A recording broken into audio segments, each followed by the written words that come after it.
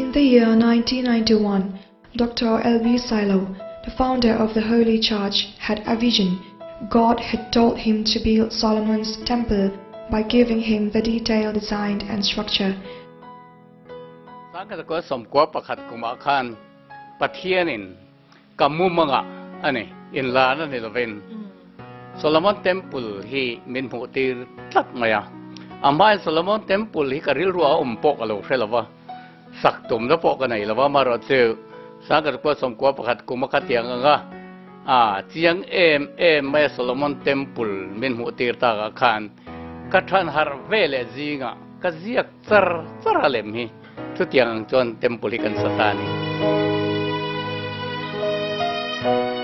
It is located in the western part of Aizawl, the capital of Mizoram, a state in India which is 10 kilometers away from the heart of the city. The foundation stone was laid on the 23rd December 1996.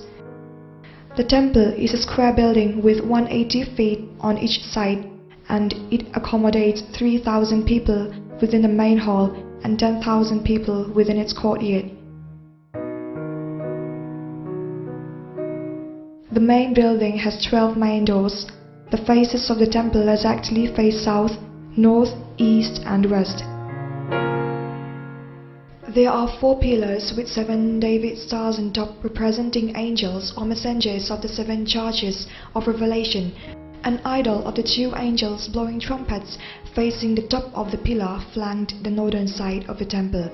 Four towers corner the main hall of the temple. A six-sided spire is standing high with the crown on top of the tower, surrounded by four mini spires at the four corners. There are two intersecting horizontal ridges crossing the middle of the pitch roof, so that from the sky, the roof looks like a cross representing the new covenant. The temple complex is covered by natural greenery. There is a standard restaurant within the premise for visitors. And there is yet a plan to set up an educational institution and social service centers. The financial requirements are contributed by the church members.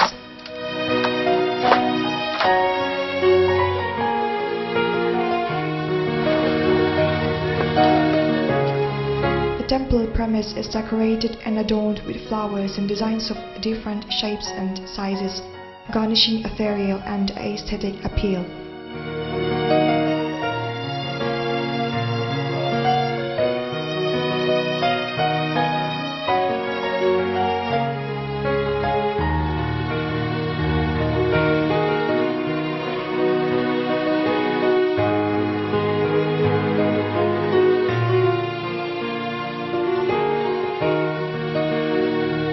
Constructed with imported marbles, the temple has become a major tourist attraction and destination in Mizoram.